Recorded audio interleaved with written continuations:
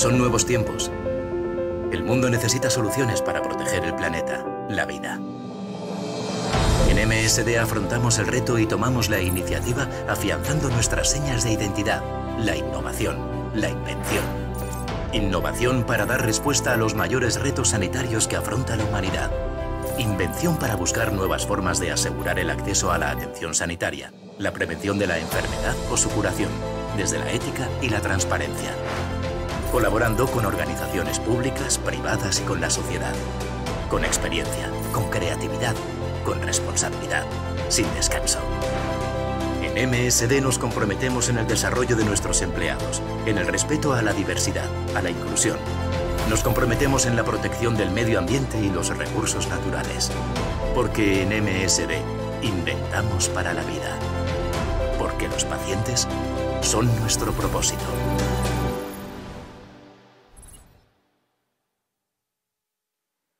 Y cojo esa última frase del vídeo para decirle a Ana una de las frases célebres de vuestro fundador, de George Merck, que decía que las medicinas son para las personas, no para buscar beneficios. ¿Cómo ha perdurado en MSD esa filosofía? Bueno, yo, creo que es importante y el vídeo lo enseña. ¿no? Nosotros estamos y hemos estado siempre en los últimos 125 años y más que llevamos eh, inventando para la vida. Yo creo que el ejemplo actual es la oncología, que es donde hay una revolución de tratamientos importantes. Pero quizás teniendo en cuenta la pandemia actual, creo que es importante que estuvimos ahí en el momento del VIH. Hemos estado en un momento importante eh, en, en las vacunas con el ébola, donde realmente pudimos dar. Y ahora mismo estamos en desarrollo, como decíamos, de dos vacunas y un antiviral que puede ayudar en el tratamiento, al igual que muchas otras compañías. Y yo creo que el sector sanitario tenemos que estar un poco en este momento tan relevante, apoyando y, realmente eh, haciendo lo que nosotros sabemos hacer, que es la parte de encontrar los tratamientos y espero las vacunas para la prevención adecuada eh, que pueda ayudar en las situaciones actuales. Ana, tu, presencia aquí es fundamental en, este evento, en este año marcado por la COVID-19, sobre todo porque eres la única representante en, el sector de, de la salud. Es interesante porque se ha ha hablado mucho de la vinculación que tiene la COVID-19, el coronavirus, con el cambio climático. ¿no? Dicen, pues eso, cuando hablábamos de que el planeta está al límite, que nos lo estamos cargando, eso puede provocar que vengan enfermedades pues ya incluso que hemos superado, enfermedades nuevas, como hemos visto con el coronavirus. En ese sentido, desde MSD, ¿cómo os estáis preparando eh, para el cambio climático, teniendo en cuenta que también puede ser uno de, los factores que propicia eh, algo tan importante como es eh, modificar la salud de las personas o una pandemia global. Claro. Yo creo que primero, quizás voy a responder una cosa primero y voy a volver a la segunda. La primera parte es Realmente la situación actual es un reto. Yo creo que la colaboración público-privada entre empresas privadas con todos los agentes es absolutamente relevante. Creo que empresas como la nuestra, que invierte más de 9.900 millones en investigación y desarrollo, tiene que continuar invirtiendo y tenemos que dar este punto. Y eh, creo que se tiene que entender que nosotros no solo estamos en la parte de salud humana para las personas, los pacientes, sino también en salud animal.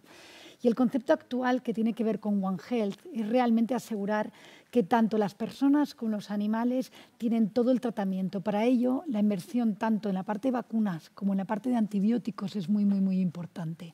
Y como tercer punto vendría la parte del planeta. Nosotros tenemos un compromiso importante, creo que ha habido bastantes compañías que lo han visto y, tampoco quiero repetir, ¿no? pero naturalmente emisiones cero, tenemos una, una fábrica eh, importante que produce vacunas para animales en Salamanca, que es sostenible, eh, que está invirtiendo muchísimo en energía solar. También colaboramos en muchísimos eh, lugares para, para, que la flota de coches sea sostenible, híbrido, eléctrico, que hemos tenido muchos ejemplos a lo largo de la mañana. Yo creo que, que parte de la base que grandes empresas internacionales como la nuestra tienen que dar ejemplo. Pero a mí me gusta que el ejemplo también sea individual, por lo cual tenemos eh, políticas de voluntariado muy fuertes en las que realmente, y sobre todo en la pandemia, hemos podido dar ejemplo y hemos podido participar, sea yendo a las UCI, sea asegurando el suministro de los medicamentos, que en algunas semanas ha llegado a ser crítico ¿eh? en las últimas semanas que hemos vivido. Entonces, si realmente tenemos los valores adecuados, damos ejemplo y conseguimos construir, vamos a lograr eh, dar todo lo que nosotros podemos hacer en inventando todo aquello que podamos para las personas, para los animales y colaborando en todo lo que podamos desde el planeta y con ello conseguir construir lo que creo que como todos, todos los agentes, los individuos tenemos que lograr conjuntamente. Ana, como periodista no puedo dejar de preguntarte sobre esa vacuna de la COVID-19, eh, algo que todos estamos esperando, creemos que es bueno, un poco la, solución a este problema. Eh, ¿Crees que una vacuna tan rápida es posible realmente cuando hay veces que las vacunas tardan años? Y en ese sentido, ¿que vamos a tener primero la vacuna o crees que la inmunidad de, de grupo, de rebaño, como la llaman? Bueno, lo primero que quiero decir es no soy médico quiero dejarlo, por lo cual creo que podría haber gente que tiene un background científico más fuerte. ¿no? Pero quizás la segunda cosa que, quiero, que, necesitamos decir es, creo que hay que invertir, MSD lo está haciendo, no somos la única compañía, tanto en tratamientos que ayuden en este momento, antivirales, parecido a cómo funciona el VIH, como en vacunas. Aquí tiene que predominar la ciencia. O sea, aquí realmente lo que hay que hacer, tanto la FDA, que es la organización americana, el Frag Drug Agency, como la, la, europea, han puesto una normativa muy clara de cómo hay que hacer los ensayos clínicos yo no creo que ninguna compañía, desde luego no la nuestra, pero ninguna, no vaya a seguir todos los protocolos que se tienen que seguir para, primero, que las vacunas sean eficaces. En el caso de MSD hemos escogido dos plataformas conocidas. Una es la del ébola, la que desarrollamos mm. con la vacuna del ébola que sacamos hace no tanto y que apoyamos en un momento muy importante, y la otra es del sarampión. Son plataformas conocidas, son plataformas seguras y realmente vamos a hacer todas las pruebas y ensayos clínicos. Y yo creo que desde los medios nos tenéis que ayudar a transmitir que realmente la ciencia es la que predomina. Yo entiendo que es un tema hoy muy mediático, entiendo que se haga mucha información de qué pasa en cada ensayo clínico de cada compañía, pero es muy importante que la ciencia tiene que predominar. Nunca se va a aprobar una vacuna que no vaya a tener el nivel de seguridad necesario y la eficacia porque va a personas sanas. Entonces tenemos que confiar en esta plataforma científica y, dejarles trabajar un poco. Es verdad que ahora mismo hay muchísima presión, pero en mi opinión ninguna compañía con la seriedad de compañías internacionales y nacionales fuertes o el CSIC que está investigando, va a llegar a una aprobación sin tener la seguridad suficiente. Pues mensaje de, tranquilidad. Muchísimas gracias, Ana. MSD trabaja, ya mi última pregunta es eh, sobre el rol de la mujer, porque en MSD, por ejemplo, sí que eh, hay, hay, muchas mujeres. Eh, ¿Cómo influye ese rol femenino? ¿Qué, políticas habéis hecho para, para, que sea una realidad? Y me gustaba mucho el titular de Jaime que nos decía de las mujeres, así que vosotros sois un ejemplo de ello.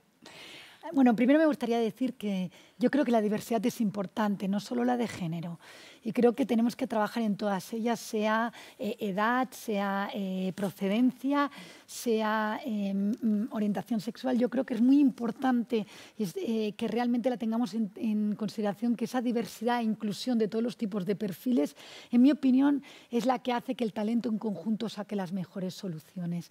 Es verdad que el sector farmacéutico en general tiene un 41% de mujeres directivas. En MSD, por ejemplo, el comité de dirección somos un 50%. Hay un 65% de mujeres trabajando en MSD. También es verdad que hay muchas mujeres trabajando y estudiando farmacia, biología y muchos background que se contratan. Pero yo creo que no hay que dejarlo al azar. O sea, nosotros tenemos programas eh, que sobre todo en los mandos intermedios apoyan mucho a las mujeres, en el cual, eh, por un lado, tienen mentores, por el otro lado, eh, tienen un network para que entre ellas realmente se apoyen. Me ha gustado una cosa que hemos dicho, que es que tú también eres responsable de tu carrera, ellas tienen que tener el apoyo, pero tienen que también dar el paso alrededor del tema y naturalmente siempre hay capacidades que se pueden llevar a cabo.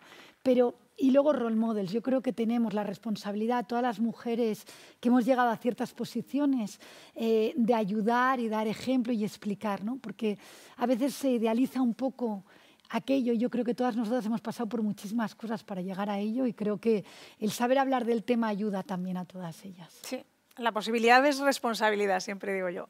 Muchísimas gracias, Ana, por trasladarnos tu, experiencia, por aportar en este encuentro empresarial la visión de MSD en salud y sostenibilidad porque hemos visto la importancia que tiene la salud, que debe ser el eje de la estrategia de sostenibilidad de la compañía.